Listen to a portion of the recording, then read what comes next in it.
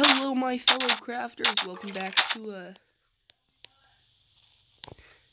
Welcome back to another video. Today, guys, I'm showing you this really awesome seed. So I'm going to put it uh, up on the screen right now. Basically, spawn in right around here.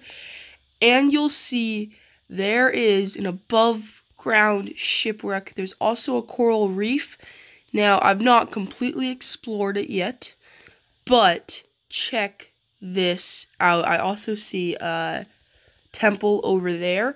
But there is literally an above ground shipwreck. Like, how amazing is that? That is not supposed to happen in Minecraft. Keep in mind, you guys can make this like a proper ship that you guys are, you know, probably going to use or something of that sort. So there's two treasure maps, and then there's also an unknown map in here, which is pretty cool. Let's check these out. Right off the bat, you guys can get a filled in map of this whole area.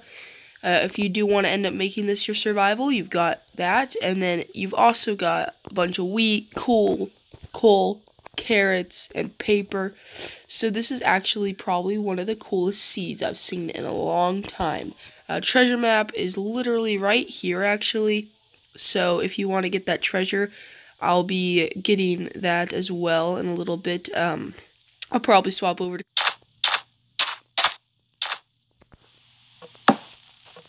This is the buried treasure.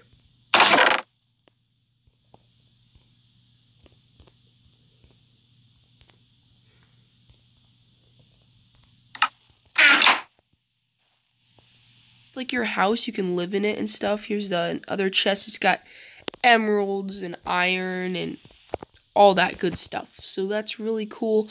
This is probably one of the coolest things you can just see right off as you spawn in.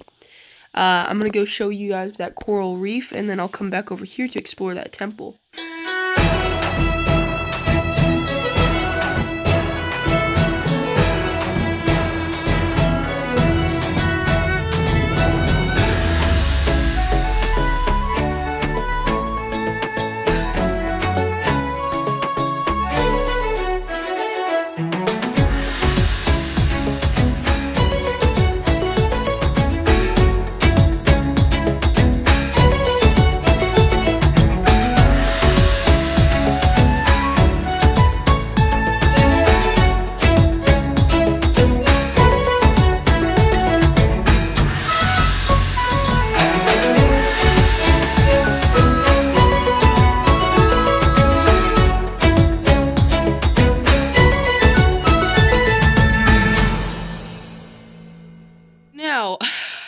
Am at one heart. Oh, geez, I didn't, I didn't really realize how close I was to dying there. Jeez Louise. Okay, so what I'm going to do now is I'm going to run on over here.